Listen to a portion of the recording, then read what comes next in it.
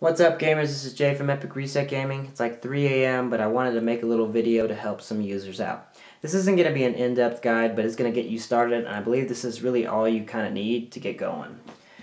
Basically, this is going to show you how to replace the hard drive with the solid-state drive in your PS3. First thing you'll want to do, Google PS3 Update and download the latest update onto a little thumb drive. The website tells you exactly what to do to save it, and then you basically just save that onto a thumb drive. Easy. If you want to back up your files using the system utility so that you could transfer them to the new hard drive, do that before you even start taking your PS3 apart.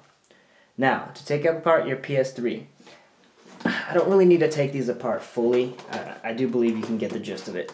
Basically, all you're going to need to do, this is the slim version. Alright, all you're going to need to do, flip it over, orient the front of the PlayStation towards the ground. There's a little cover right here.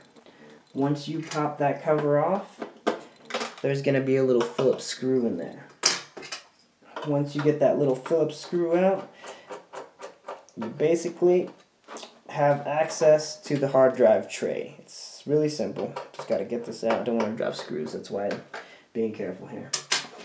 On the slim version, you just basically orient this towards you so that you can see this tray. You'll see the markings.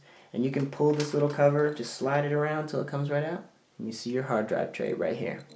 This hard drive tray is really easy to pull out. You just grab this clip, pull it straight out. Hard drive comes out with the tray. It's mounted within the tray with four Phillips screws.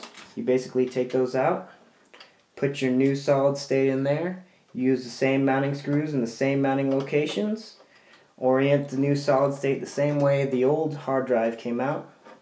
And once you're done tightening those, you put the tray back in, put the cover on, put the Phillips back in, put the cover on. Done. Let me show you real quick the fat PlayStation 3. The fat PlayStation 3, pretty much the same. There's a cover right here. Basically all you have to do is pop this cover on the bottom off. You see the tray immediately take this colored Phillips out and you can slide the tray towards the front of the PlayStation and then you can pull it out. Do the same thing for this one, for mounting screws. You're going to want to orient the solid state the same way that the hard drive was oriented.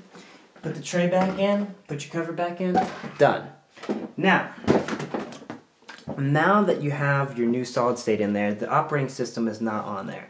That's what the update is used for. It can put the new operating system onto the new hard drive with that update file. All you have to do is plug your thumb drive onto a USB port of your PS3, turn it on. It'll ask you to keep a controller plugged in with a USB cord plugged into the controller and basically all you do is follow the screen instructions. It might tell you to press select and start at the same time to load up an update file or it might do it automatically. The fat PlayStation did it automatically for me. The slim version I had to press select and start, hold it for 5 seconds, it ran the update files and we were good to go.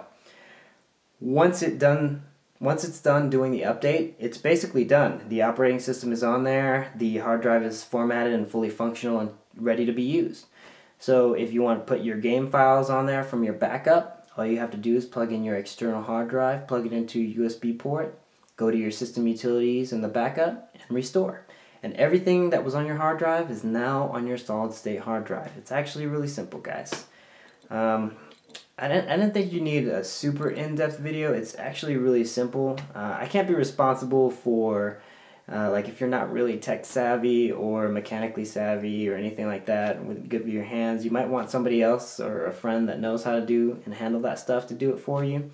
Uh, that's one reason I didn't want to do too in-depth of a video. I can't I, I can't be responsible for what you do to your system, but it's actually really simple if you're good with your hands. You can make it work. And that's pretty much it, guys. Uh, if you didn't back up your stuff or you didn't care to back up your stuff, you're you're ready to go. Download your games and have fun. That's it, guys. So if you like this video, hit that like button. Sorry it's not too in depth. It's 3 a.m. I'm tired, but I like to keep my viewers happy.